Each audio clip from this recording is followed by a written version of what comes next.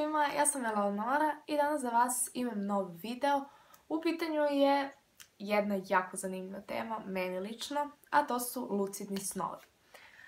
ako ne znate šta je ovo, uskoro ću sve da objasnim. Iskreno ovo je meni bila jedna jako nepoznata tema do skora, ali sam u posljednje vreme saznala puno informacija o tome i postala mi je toliko jedna zanimljiva stvar da sam morala napraviti video o ovome. Znači, snovi su relativno, mislim, meni lično jako zanimljiva tema i mislim da je to nekako jako čudna stvar kod nas ljudi, jako misteriozna stvar, je to kako naš mozak dok sanjamo stvara neki svoj svet i stvara neku svoju bukvalno priču i jednostavno naša svest stvara ceo neki poseban svet u kome smo mi dok spavamo, da tako kažem. E sada, lucidni snovi su snovi u kojima vi možete, možete potpuno da kontrolišete bukvalno ceo san.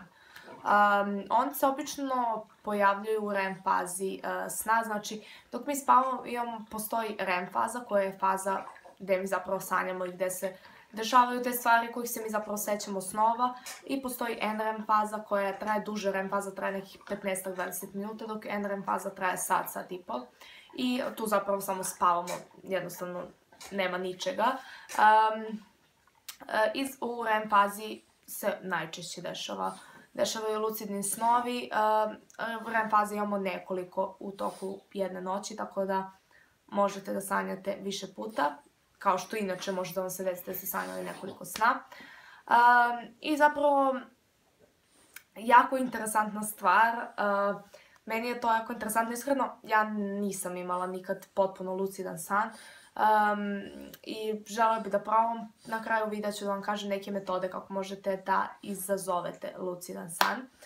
znači u lucidnom snu vi možete potpuno da kontrolišete situaciju, možete da kontrolišete svoje ponašanje, bukvalno kao da se nalazite u realnosti.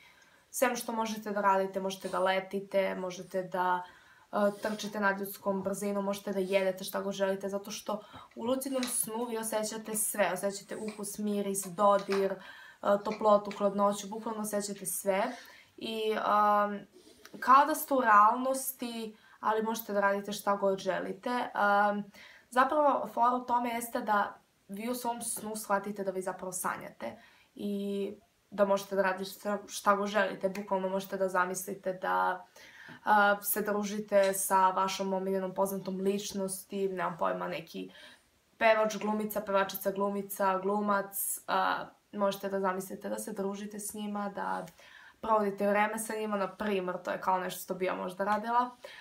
onda, ako ste, na primjer, na nekoj dijeti vodite račun što jedete, možete da jedete koliko želite, zato što sećate ukus, tako da to je jako dobra stvar. Onda možete da letite, da plivate, da radite bukvalno šta god želite i to je meni iskreno toliko jedna dobra stvar, fascinantna stvar. I jeste možda malo na neki način da kažemo strašno, meni bar. I to je razlog zašto još uvijek nisam isprobala da na neki način ovo radim, ali ja inače mislim da ja imam na neki način kao neke polulucidne snove. zato što ja u svojim snovima, mislim, mogu delimično da kontrolišem svoje ponašanje. ne mogu naravno da kontrolišem situaciju dok to u lucidnim snovima možete. Možete da, da kontrolišete gdje se nalazite, s kim se nalazite, gdje. I ja to u svojim snovima ne mogu da kontrolišem, mislim nisam probala. Ali uglavnom mogu da kontrolišem svoje ponašanje, ne u svim snovima, ali u većini snova.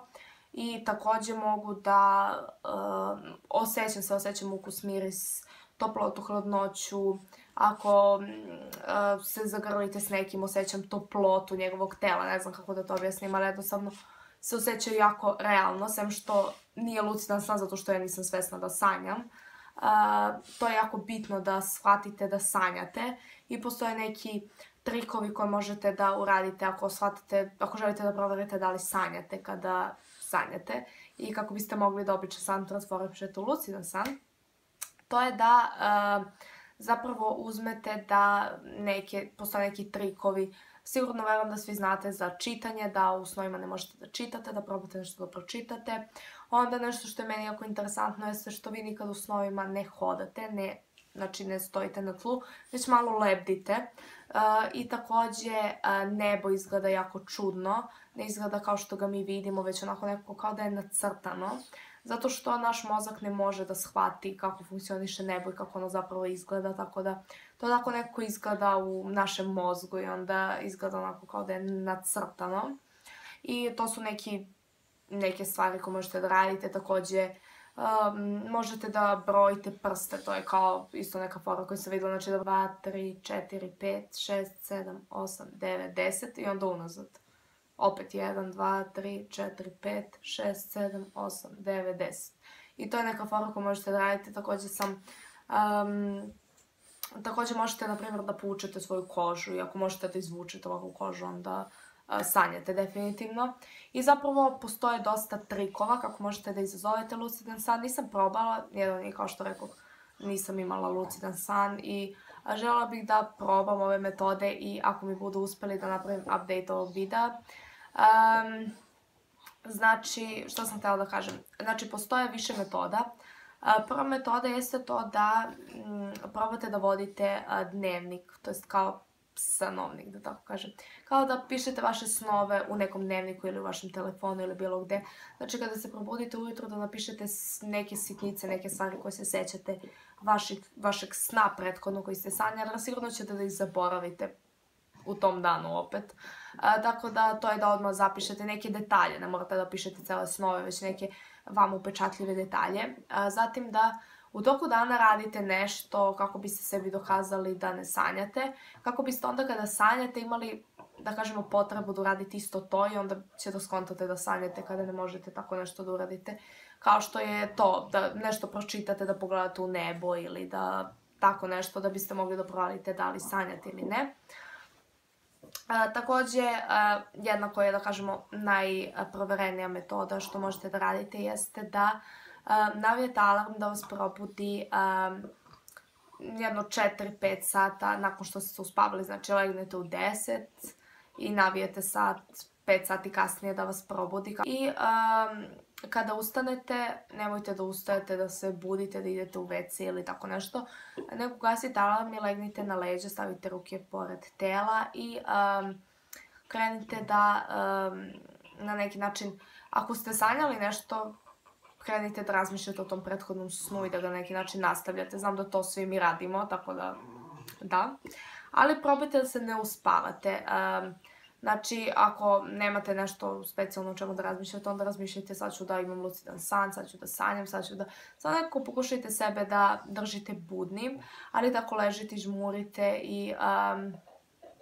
U jednom trenutku vaše telo će da se uspava, će sve da vam ostane budno i onda ćete jednostavno da se prebacite u lucidan set, tako kažem, malo zvuči glupo, ali će da legnete da spavate i uh, uspavat ćete se i onda ćete se probuditi u uh, lucidnom snu gdje ćete moći da radite šta god želite. Naravno, vi se nađete u nekoj situaciji koju možete da kontrolišete, možete da menjate. Um, kao što rekao, nisam lucidno sanjala i sad osjećam glupo zato što pravim ovaj video, a, a nemam toliko iskustva sa time, ali jednostavno mi je ovo toliko bilo zanimljivo i tako sam žela da snimim video, a žela bih da vidim takođe da li vi imate nekih iskustva sa lucidnim snovima i um, da vidim šta imate vi da mi kažete o tome, zato što je ovo meni iskreno jako interesantna tema. Lucidni snovi ne moraju uvek da budu tako sjajni, bajni, zato što takođe mogu da se pretvore noćnu moru, a, noćna mora definitivno nije savršena ako sanjate luzidan san gde osjećate sve i gde se osjećate kao u realnosti, ali naravno nemojte da vas to plaši zato što u lucidnim snovima možete raditi šta go želite, možete da postanete vaš omiljeni superheroj i da ubijete to nešto što vas juri, napada ili šta god je vaša noćna mora. Moja noćna mora su bube. Definitivno bi voljela da ih u snu pobijem. To bi bilo jako dobar san. Koji jednostavno prirodno imaju lucidne snove, jednostavno uh, ceo život imaju lucidne snove i to je za njih sasvim normalno, dok postoje neki kao ja, koji moraju da izazivaju lucidne snove i ne mogu da natara sebe zato što samo hoću da spavam, neću da se budim u toku noći, tako da, da.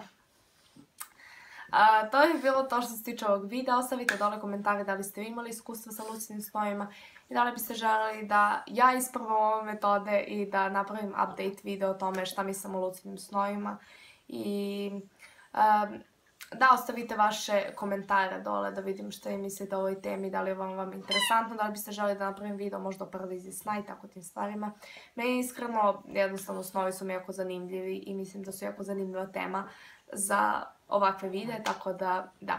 To bi bilo to, nadam se vam se ovaj video dopao. Ako jeste, bez ga lajkujte i subscribe se na moj kanal ako već to niste radili i vidimo se na sljedećem videu. Ćao!